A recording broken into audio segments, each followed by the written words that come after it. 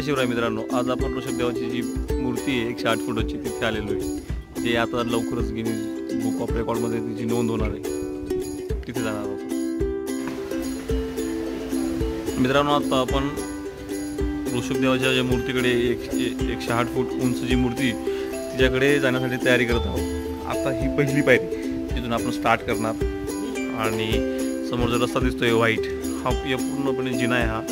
आणि समोर जे दिसतंय या इथे. ते मूर्ती आहे एकशे आठ फुटाची तिथं जाणार आहोत.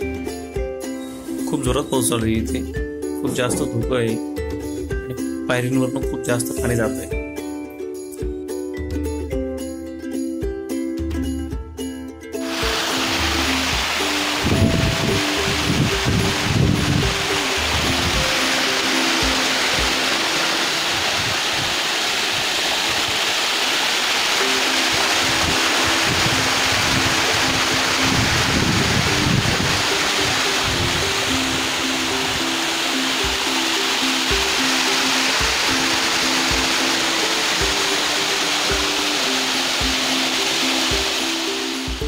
आपण मजल दर मजल करत इथपासून असं जिन्याने वरती आता इथून वरती ऋषभ मंदिराकडे जाण्याचा रस्ता आहे. आज पाऊस असल्यामुळे खूप चांगलं खूप सुंदर असं दृश्य पाहायला मिळते इथे. सगळीकडनं पाणी झिरपतंय धबधबे चालू आहेत खूप सारं धुकं आहे. हा पायी येण्याचा रस्ता आहे. आणि इथे सगळीकडे दुःख दुःख आहे. आणि समोर तो दिसतोय हा गाडी येण्यासाठी इथल्या कंपनीच्या गाडी येत आहे या रस्त्याने फक्त.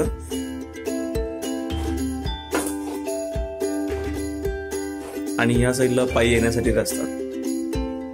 समोर जे दिसतंय तो तुंगी डोंगर. आपण ज्या डोंगरावर आता उभे आहोत तो मांगी डोंगर.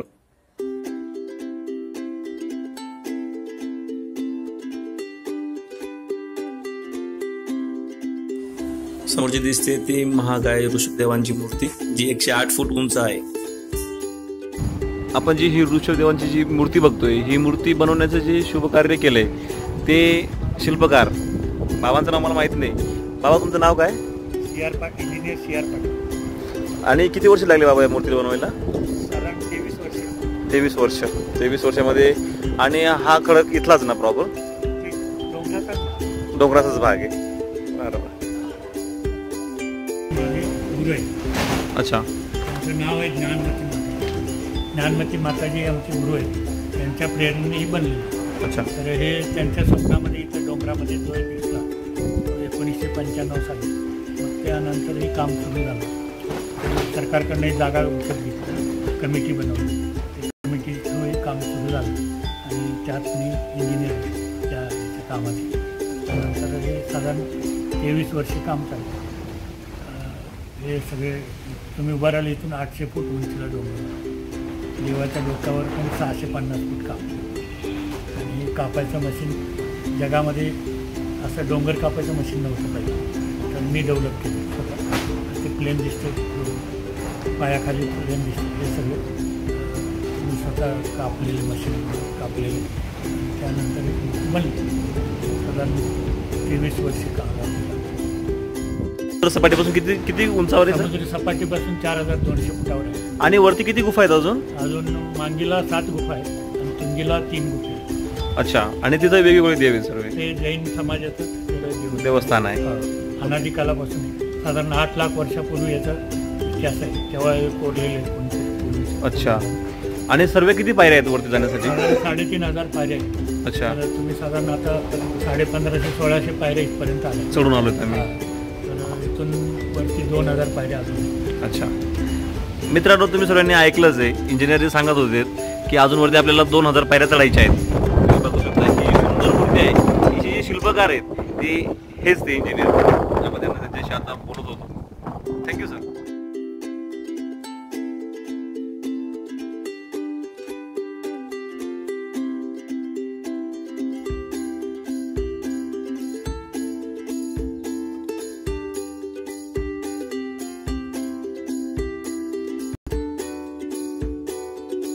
मित्रांनो ही जी आपण मूर्ती बघतो बघतोय ना एकशे आठ फूट उंच. हिचे केस पाच फूट मुख बारा फूट मान चार फूट. कान चौदा फूट आहे छा मान आणि छाती बारा फूट आहे. नाभीचे ते टोळे हे जे टोंगळे हे छत्तीस फूट आहे. टोंगळे चार फूट आहे. टोंगळे ते पायाचा गोटा एकोणतीस फूट. तळपाय चार फूट. कमळ जे छातीवर दिसते ते पाच फूट आहे. आणि चौथरा जो आहे खाली बेसला तीन फूट. अशा भव्य मूर्तीची मूर्ती आहे. ही मूर्ती पर्यंत पोहोचण्यासाठी चार लिफ्ट पंधराशे पायऱ्या आणि आता व्हेकल पण वरतीपर्यंत येतं. पण ते कंपनीचंच आहे इथल्या. जय शिवराय मित्रांनो. आज आपण मातृभूमीला एक आठ फूट मूर्ती अखंड अशी पाचार बनवलेली. आमच्यासमोर अमर चेतन नानू भैया राकेश आणि बापू आम्ही सगळे तसंच आज आपल्याला पुढे बरंच काही गोष्टी बघायच्या आहेत. माझ्यासोबत आहे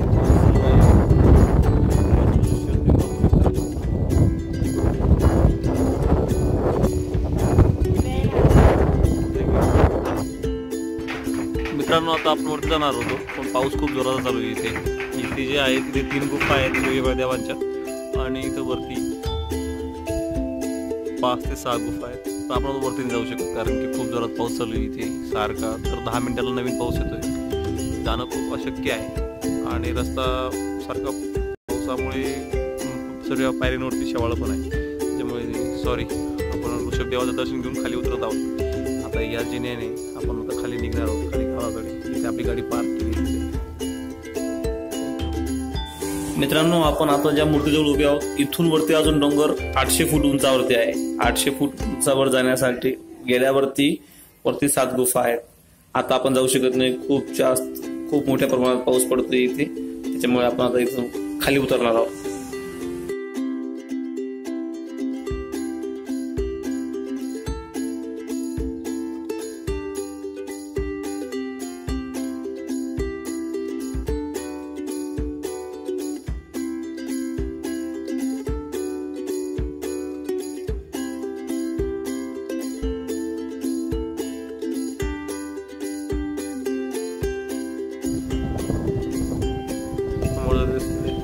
मांगी आणि इकडे तुंगी.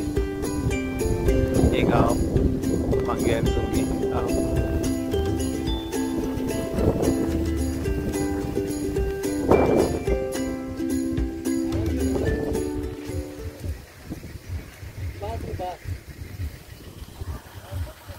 आमची गाडी सी यू अगेन पुढच्या वेळेस पुढचं नवीन ठिकाण. बाय. जय शिवराय मित्रांनो.